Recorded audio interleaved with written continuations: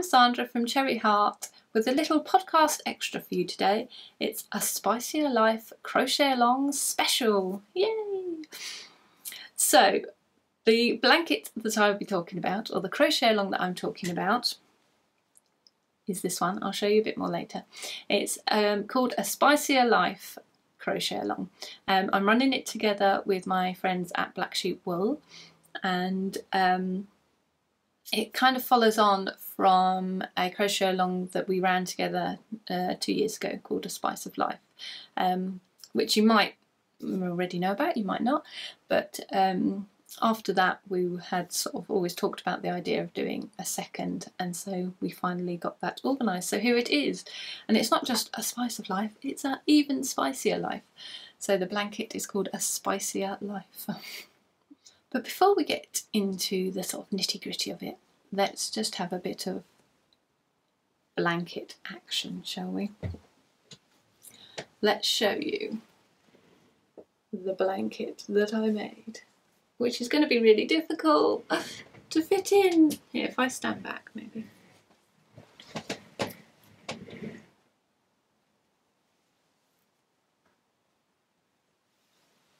I touched the ceiling, I can't get up high enough to show you. There it all is.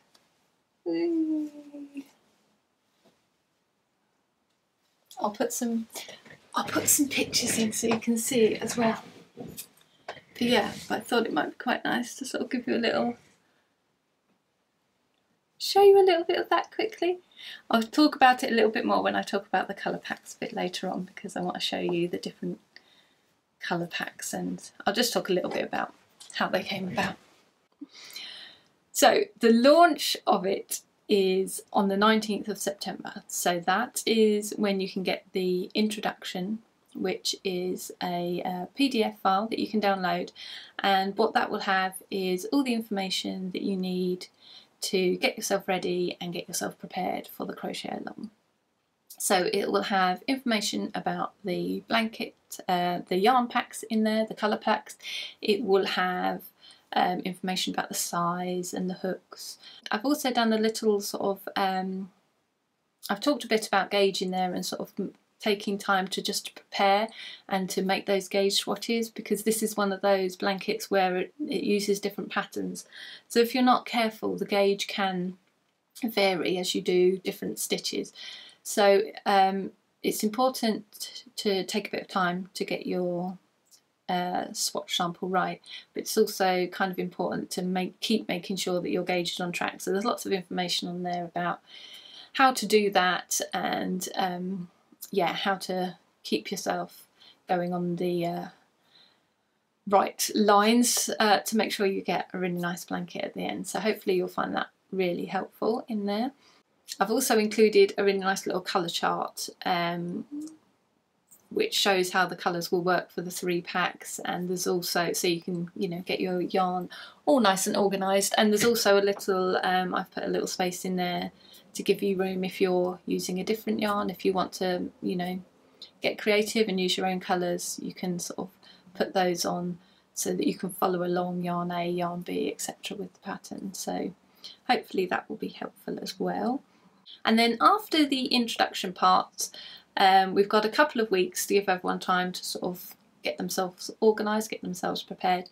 And then the blanket parts, the actual pattern parts will be released um, the first one will be the 3rd of October, so that's the Tuesday, and then each part will be on the follow uh, the Tuesday after that, so they're one week apart, and there's six pattern parts altogether. So it starts on the 3rd of October, and the last part will be on the 7th of November. You don't have to worry too much if um, one pattern part a week sounds like it is going to be um, too quick for you really. Um, I mean there's a very big difference in the sort of amount of speed and the amount of time people get to crochet. Some people will whiz through the parts in a day or so and be champing at the bit for the next bit. Other people will struggle to fit it in before the next part is out. And to be honest, that's really not a problem. Um, we found last time that it's there's just all sorts. Some people are quicker, some people are in the middle, some people are slower, and it really doesn't matter because there'll always be someone else who's going at your speed. Um, if you are worried that you're going to be slower and you won't finish in time, that's really not a problem. Just whatever speed you're happy to work at, just go with that. The pattern isn't going to go anywhere. It's not just going to suddenly disappear. The Facebook group won't suddenly close. That support um, will still be there, the pattern will still be available. Um, it's all free, by the way, the pattern. Um, so yeah, I will keep that available. It's The old one is still available, this one will stay available. So please don't have any worries about keeping up or, you know, doing things as quickly as other people do them. It's completely fine to just take your own path with it and that's absolutely fine. Some people last time didn't even start until it finished, so they just sort of kept along with the part, downloading the parts as they came out, but just kept them to start afterwards. Other people started when the last one started and have only just finished. It's absolutely fine. You can just do your own thing. There's no, there's no rules on that whatsoever, so don't worry on that front. And the other date that it might be useful to know about is that I am actually going to be visiting Black Sheep Wools. That's on the 4th of October.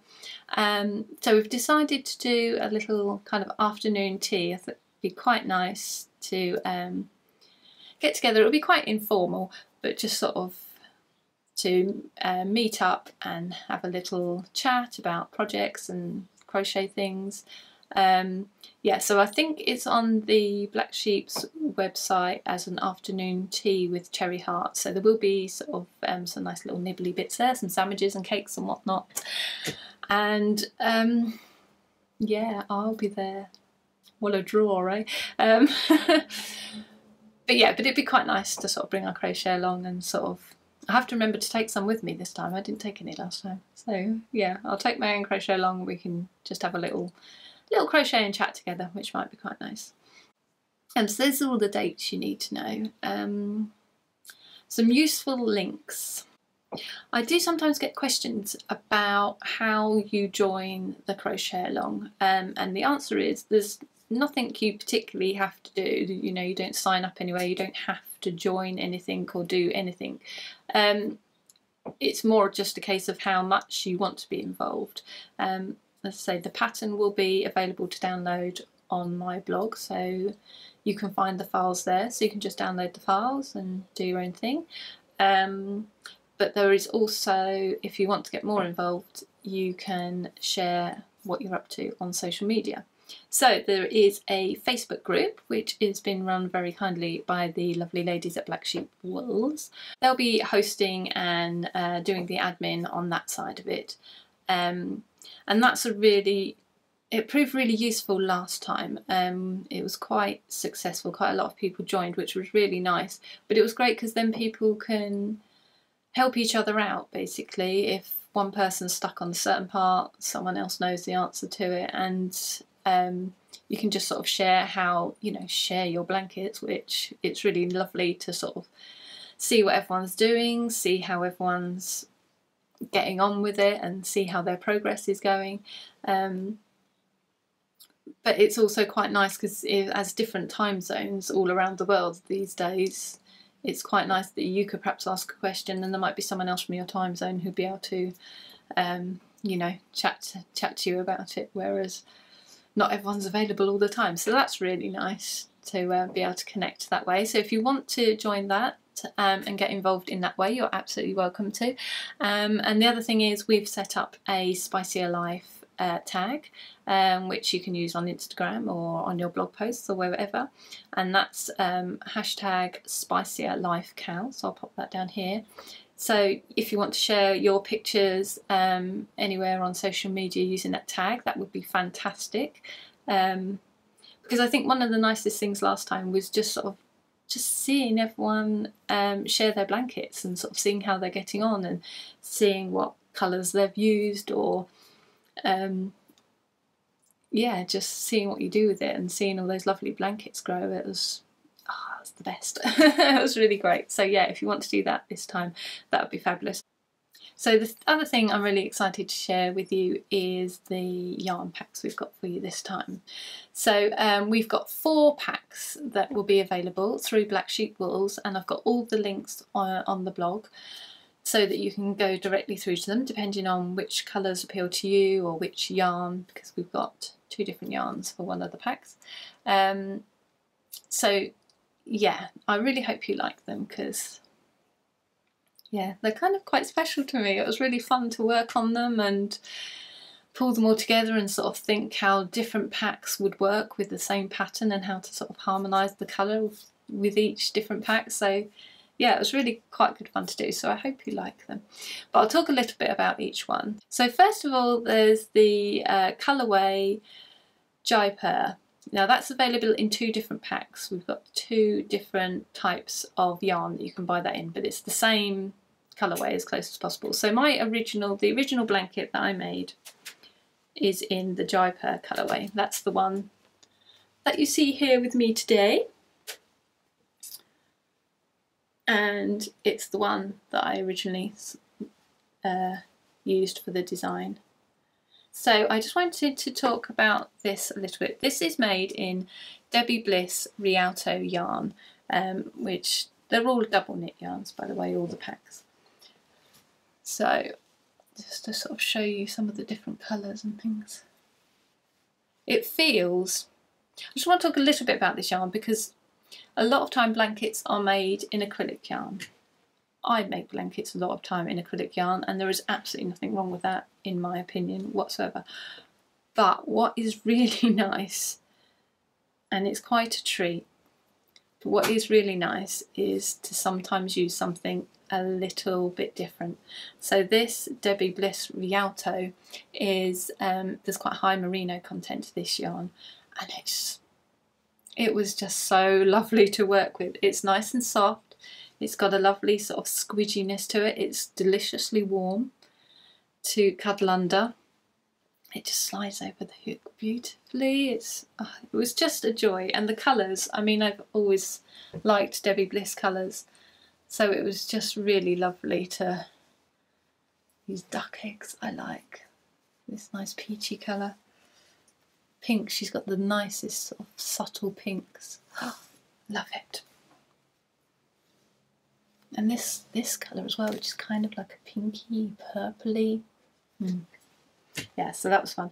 So yeah, so what I was going to say, the advantage of the Rialto, apart from just being just the sheer luxury of it really and it being such a treat to work on and a treat to have the finished blanket is that because it's got actual wool content merino it blocks beautifully. So where I was saying with the patterns being different it will affect your gauge sometimes some people more than others. Um, I use the same hook the whole time. I, you may need to change to make sure you're getting the right gauge that you need. So I had a sort of a maximum amount of that I could my gauge could go to. But if I was a little bit under, it really wasn't a problem with this because it just blocks out beautifully. So I just I've got um, you know I sprayed it all out when I was finished, and then it's it's just completely you know completely straight lines, absolutely beautifully square, and just the drape is so lovely. Yes, so if you're in a position to treat yourself, I really would recommend it.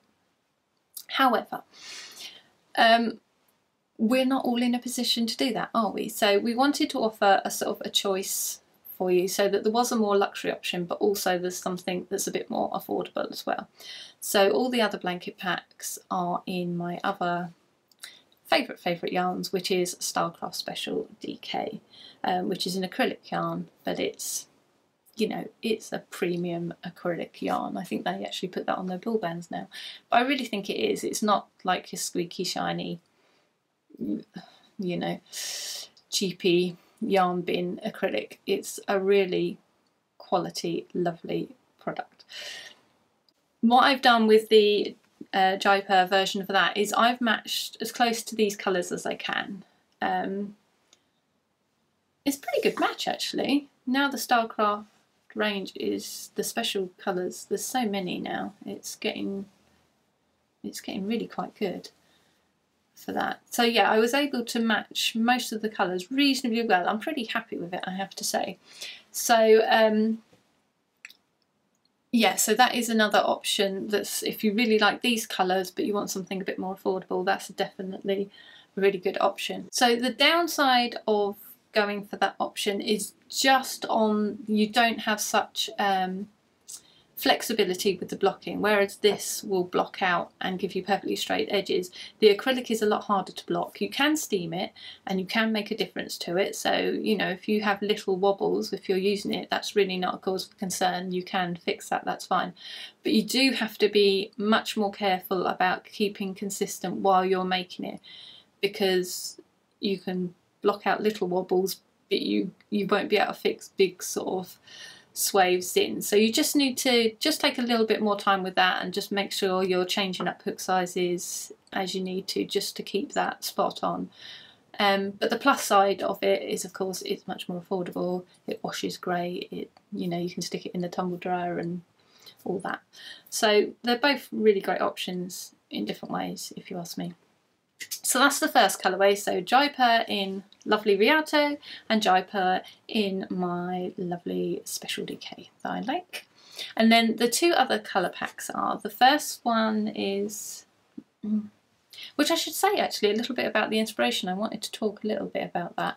Is So the inspiration is this one, is kind of those um, Indian markets, the Indian bazaars where they sell just all kinds of things. You've got all the sort of different colour spices, the rich colours of the spices. You've got sari fabric, you've got the beautiful woven carpets, you've got just all the fruit and the vegetables and the colour and the vibrancy of it.